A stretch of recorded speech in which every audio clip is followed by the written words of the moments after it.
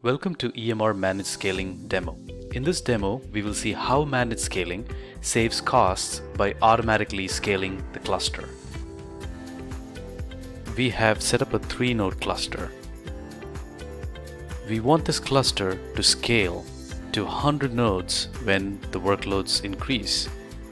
We want to use 20 on-demand nodes and use 80 spot instances to save on costs. We've also set up this code to use just 10 core nodes and remaining as task nodes. Let's kick off three queries that process data on a table with 160 million records. That should put enough load on the cluster to start scaling.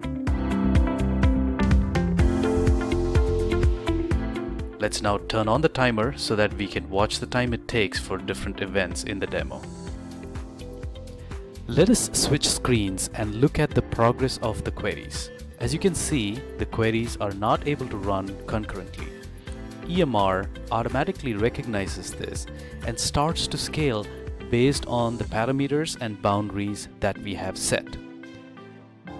Notice that the cluster is already partially resized in about 6 minutes and 43 seconds.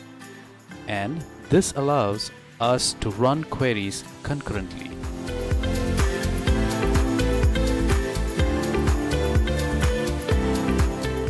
Let's rerun the same queries we ran on the resized cluster to compare performance.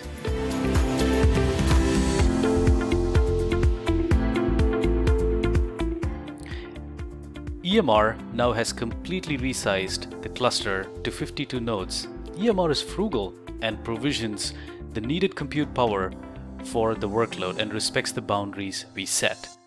Notice that the queries can now run concurrently.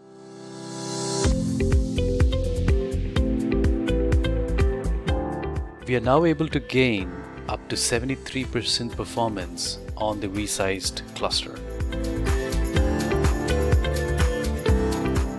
Workload in the EMR cluster starts to reduce. EMR starts to scale down the cluster to 3 nodes, which was the original size. In this particular example, the cost of cluster without managed scaling is $167 a day. With managed scaling, it is $29 per day, which is 6 times cheaper. Thank you so much for watching this demo.